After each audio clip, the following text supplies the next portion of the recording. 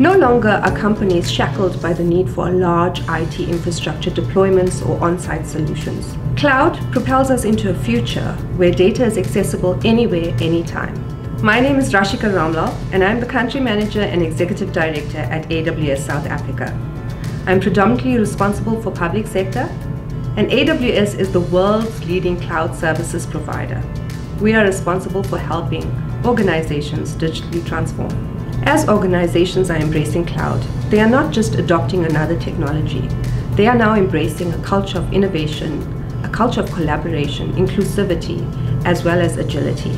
It's about a holistic approach to people, process, technology, and business outcomes. I think there are many factors that will shape conversations with regards to cloud, particularly in the South African context.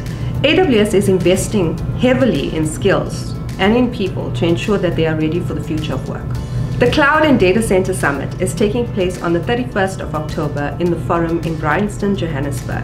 Not only is it about sharing and understanding the knowledge and the trends, but it's also about an exhibition where you can have hands-on experience and understand cloud in depth with the experts that are available. To secure your seat, please register on the ITWeb website.